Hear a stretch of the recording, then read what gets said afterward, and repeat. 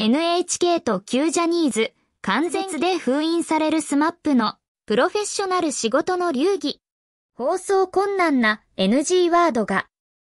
2月14日、NHK が定例会見で発表した2024改編。その内容が旧ジャニーズ事務所、現 SMILE-UP。と NHK の完全決別を感じさせるものだったため、ファンを騒然。NHK はジャニー北川氏87の加害問題を重く受け止めて、昨年9月時点で所属タレントの新規起用を見送るを発表。2月14日の会見でも稲葉信夫会長は、方針に変更はないと言及。旧ジャニーズタレントが出演している番組8本の終了と3本の降板を発表した。